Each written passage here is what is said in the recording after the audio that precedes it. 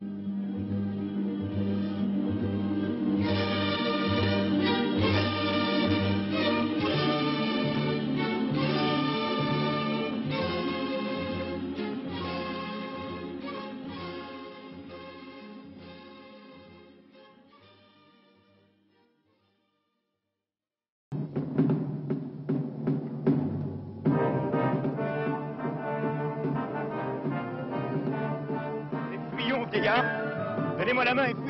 Reprenons notre route.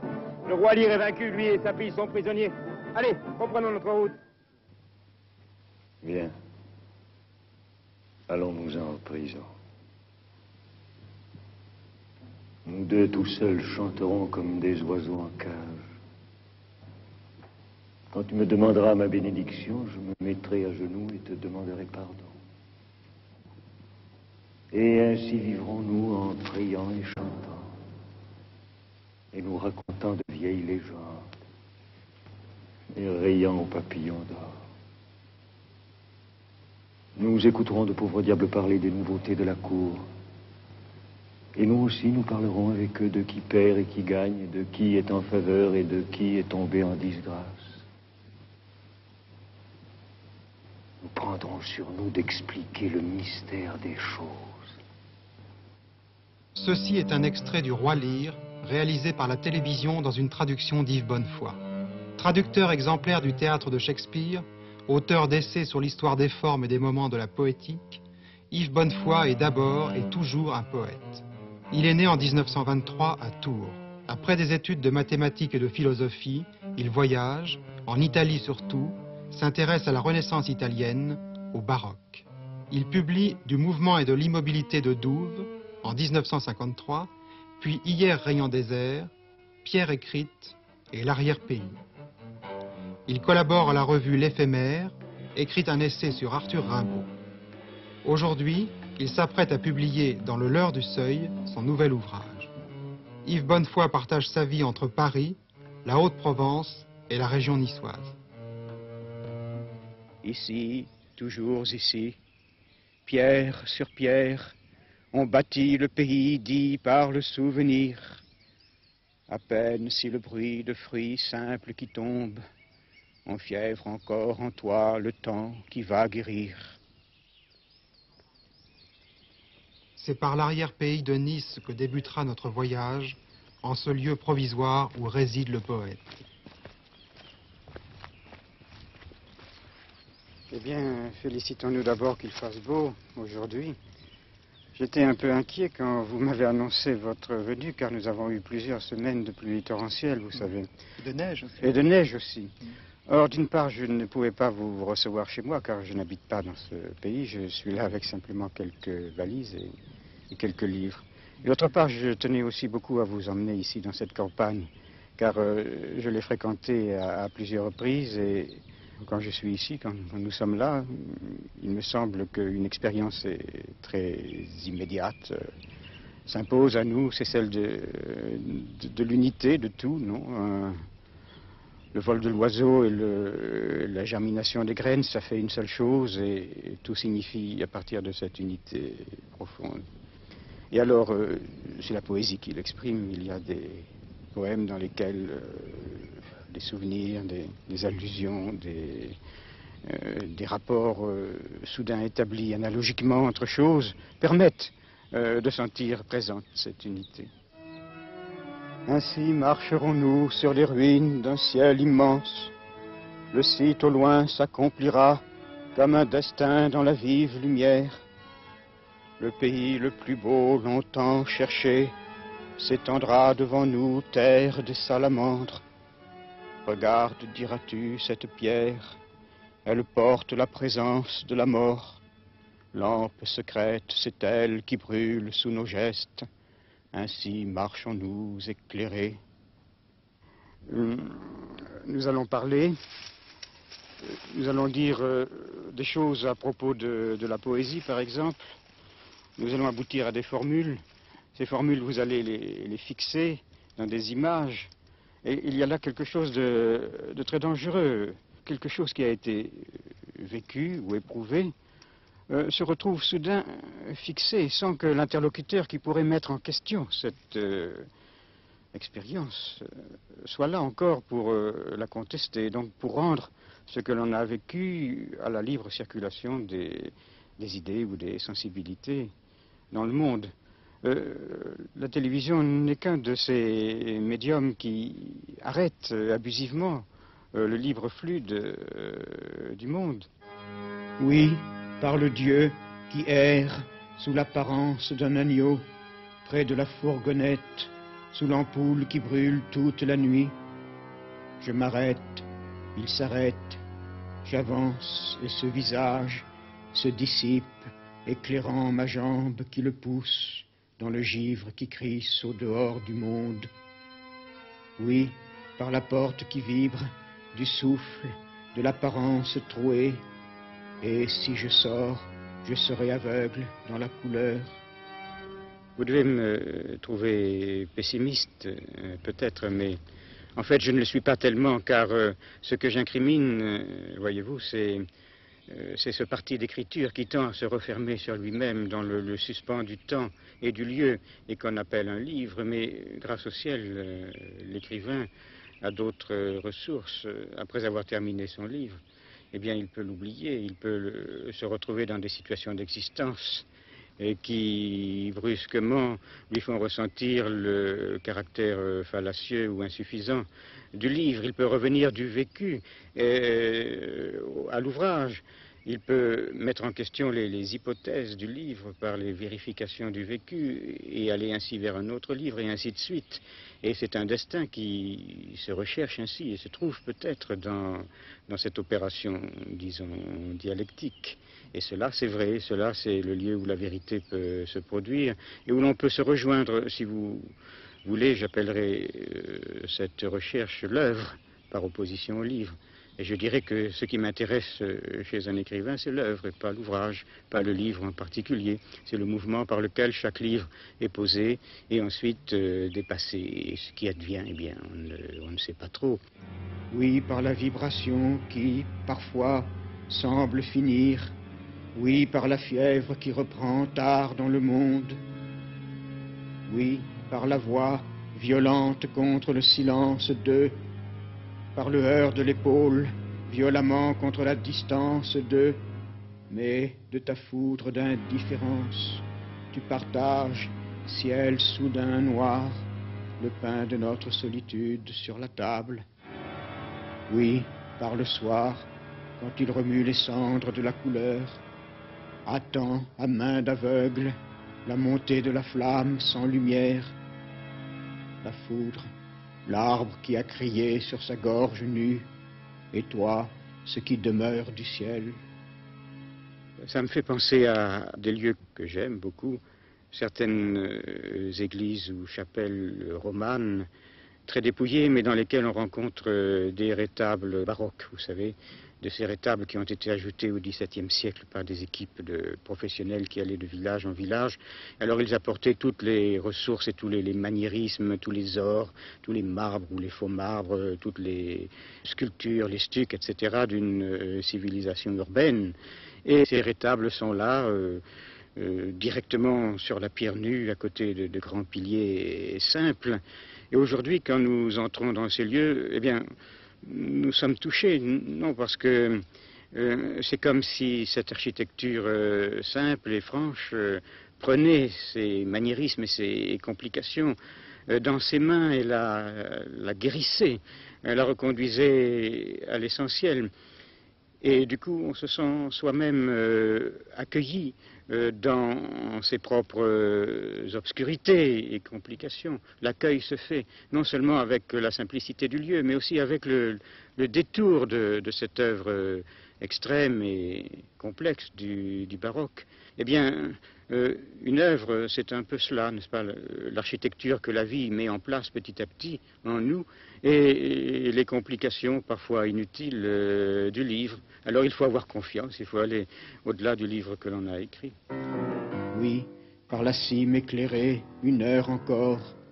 Oui, par la main qui trace violemment le trait de la cime, sans fin, sans avenir, parfois noyé d'une encre claire, parfois sombre, et sans place dans la lumière qui va seule, oui, par la vitre brillante, à travers quoi la main de dehors simple tend le fruit, et cette chair est rouge, crépusculaire, on dirait que le fruit du premier arbre a terminé sa journée dans les branches de la douleur du monde, et il s'en va méditativement vers une autre rive.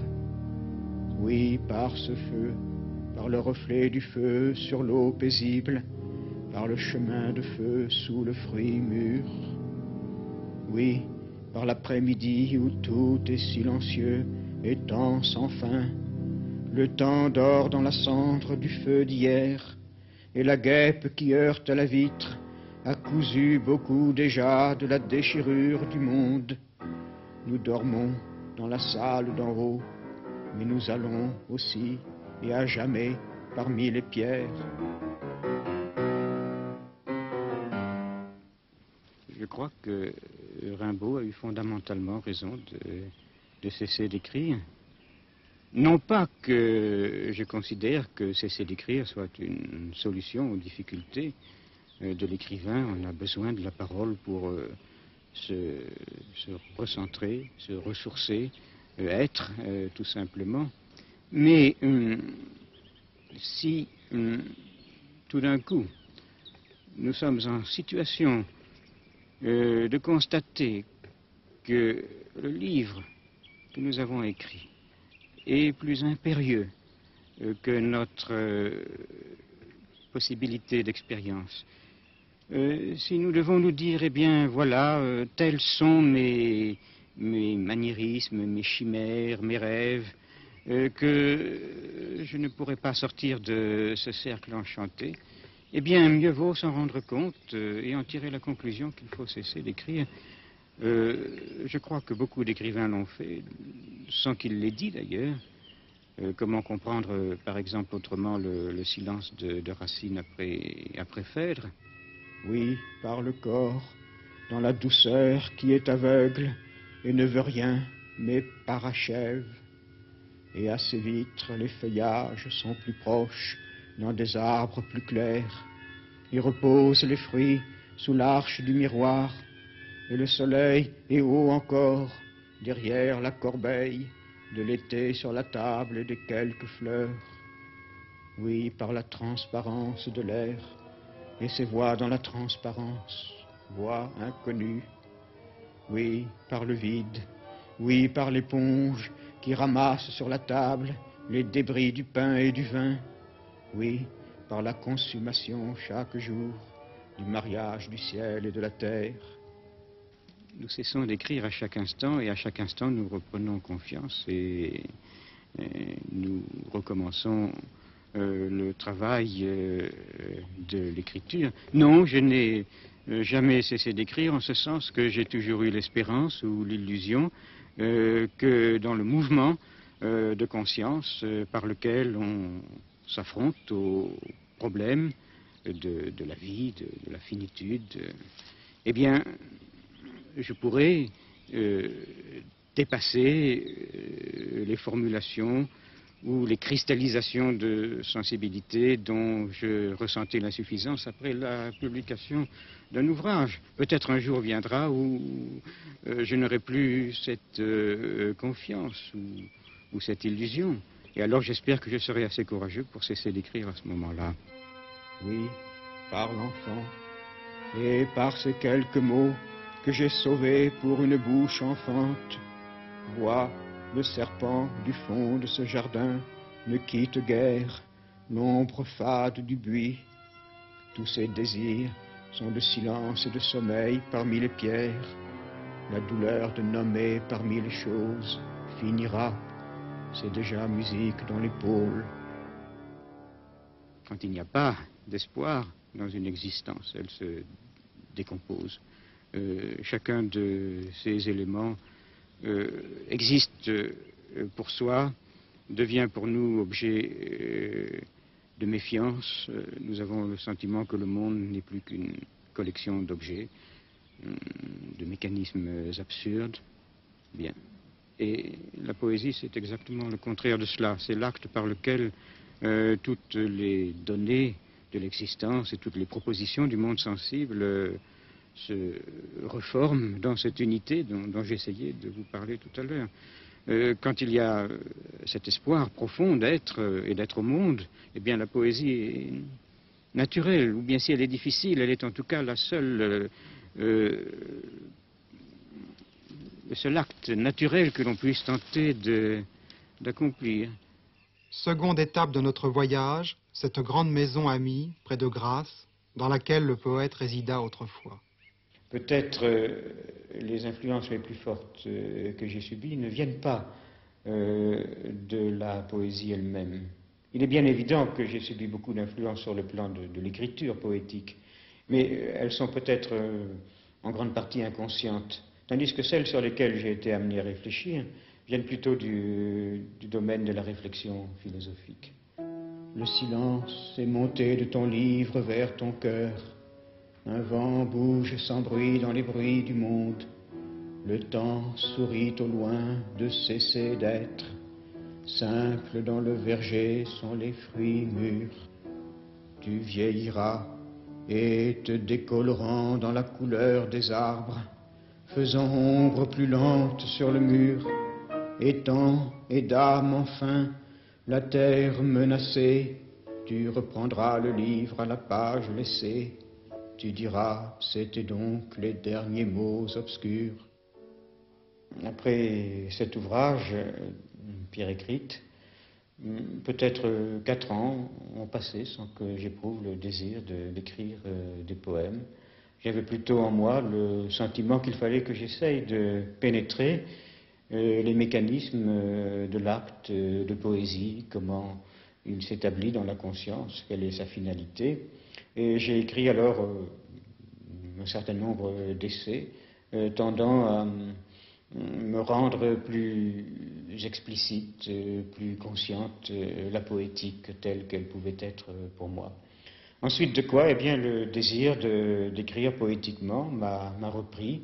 Euh, cela s'est produit brusquement, d'une façon euh, tout à fait en rupture avec euh, les besoins que je pensais avoir, et je crois qu'il en est toujours ainsi d'ailleurs. Et petit à petit, c'est reformé un espace verbal euh, dans lequel euh, différents poèmes ont cristallisé. Et maintenant, un nouveau livre existe que je m'apprête d'ailleurs à publier. Musique dans le bras qui la protège, paroles sur des lèvres réconciliées. Oui, par la main que je prends sur cette terre. Et dehors, c'est l'éclair à nouveau, se détachant, criant par-dessous, glissant, décolorant la fin du ciel dans les pierres, passant à gué le peu profond ruisseau parmi les pierres. Si le nouveau livre existe, comme je vous le disais à l'instant, c'est parce que l'existence a changé. Alors il est naturel de supposer que le moment où un livre s'achève, c'est aussi celui où, dans euh, le devenir de la vie, on a atteint une certaine étape, un point euh, qui est comme une naissance à soi-même. Vous savez, nous avons plusieurs naissances. On est d'abord à la vie et puis ensuite à, 18 ans peut-être, on, est à la conscience de soi. Et puis à 30 euh, ans peut-être, on est à la finitude. On comprend qu'on est en train de choisir les grandes formes qui décideront de, de, votre vie. On entre vraiment dans l'existence limitée. à l'âge que j'ai maintenant, c'est encore une naissance. je ne voudrais pas la, définir, mais euh, c'est précisément elle, peut-être, qui, euh, qui apparaît dans, ce livre euh, qui s'achève. Oui, par la beauté, nue, avec du déchiré, du fort clos dans le mouvement de l'épaule. Oui, en toi, arrêté, au guet du ciel, foudre, robe entr'ouverte, sur l'abondance de la terre aux fruits obscurs. Nouvelle et ultime étape du voyage, ce lieu de Haute-Provence essentiel pour Yves Bonnefoy. Lieu unique, habitable, comme le toit du monde, et qui est au centre de ses derniers livres, mais que ses livres plus anciens avaient, dit-il, déjà pressenti. Il y a longtemps, euh, j'avais imaginé euh, l'existence pour chacun de nous d'un vrai lieu, c'est-à-dire hum, d'un point euh, de l'univers dont la couleur, l'horizon, la disposition des arbres et des eaux, les monuments, que sais-je, correspondaient de façon véritablement nécessaire et intérieure à ce que nous pouvions être et désirer du monde. Si bien que nous retrouvant là, nous aurions euh, réussi à nous établir dans un état de, transparence par rapport à l'être. Et chacun de nous aurait eu ainsi son vrai lieu, quelque part en, Afghanistan peut-être, en Bactriane, que sais-je. la fonction du voyage aurait été justement de le retrouver. J'imagine souvent, au-dessus de moi, un visage sacrificiel dont les rayons sont comme un champ de terre labouré. Les lèvres et les yeux sont souriants, le front est morne, un bruit de mer lassant et sourd. Je lui dis, sois ma force, et sa lumière augmente. Il domine un pays de guerre au petit jour, et tout un fleuve qui rassure par méandres cette terre saisie, fertilisée. Et je m'étonne alors qu'il ait fallu ce temps et cette peine, car les fruits régnaient déjà dans l'arbre, et le soleil illuminait déjà le pays du soir. Je regarde les hauts plateaux où je puis vivre, cette main qui retient une autre main rocheuse, cette respiration d'absence qui soulève les masses d'un labour d'automne inachevé. Nous savons bien qu'il n'y a de rêve qu'incarné, euh, de regard sur le monde euh, qu'en accord avec euh, les données du monde, mais nous pouvons imaginer que cela existe là-bas, de l'autre côté de l'horizon, ce qui nous dispense de faire l'effort, de travailler sur les données de notre existence les plus proches la terre est notre mère, n'est-ce pas? Eh bien, c'est un peu comme si nous lui demandions de nous, passer tous nos, tous nos caprices. Mais je crains bien que si nous voyageons euh, dans cet esprit, euh, pour trouver ailleurs ce que nous devrions résoudre euh, ici même, eh bien, le voyage ne soit qu'une adolescence continuée indéfiniment. Notre voyage s'achève. Ici et jusqu'au soir, la rose d'ombre tournera sur les murs. La rose d'heure défleurira sans bruit. Les dalles claires mèneront à leur gré ses pas épris du jour. Cher Jean-Pierre Prévost, je voudrais que nous cessions maintenant de parler ainsi, à bâton rompu, et sans possibilité de conversation prolongée, ou de retour sur la chose dite. J'aime m'entretenir, croyez-le, avec des amis comme vous, des problèmes qui nous importent, et j'ai déjà formulé par écrit assez de pensées incertaines ou obscures pour ne pas trop m'inquiéter d'en venir à d'autres semblables devant vous. Mais nous n'avons pas la possibilité d'être tout à notre souci devant ces machines. Et il y a aussi qu'elles donnent du rapport de la conscience à soi-même une impression fausse que je voudrais essayer maintenant de dissiper. Nous avons parlé et la caméra et le magnétophone vont paraître avoir capté la vérité de l'instant. Mais du point de vue de la poésie, qu'est-ce qu'un instant digne de ce nom? La plupart du temps, les échanges d'idées nous privent de ce reflux brusque vers notre centre, tandis que les grandes choses constantes de la nature vivante, tout intemporelles qu'elles paraissent, nous émeuvent au contraire, nous révèlent ce qui importe, nous reconduisent donc à notre vérité menacée. Je me sens sur cette terre d'ici profondément chez moi, profondément en accord. C'est presque le vrai lieu que nous avons évoqué. Et dans ce presque, où se signifie l'impossible, il y a encore du sens, il y a peut-être tout mon sens. Ajoutons donc quelques images de cette arrière-Provence à ces souvenirs de notre rencontre. Elles diront que l'on n'écrit jamais poétiquement que sous le signe d'un monde, au dehors de soi. Elles diront que la poésie n'est pas l'imaginaire, qu'elle n'est pas la simple écriture sur page blanche. Et la télévision a tout de même un grand pouvoir bénéfique si elle peut aider par ses moyens propres à faire entendre cela aujourd'hui.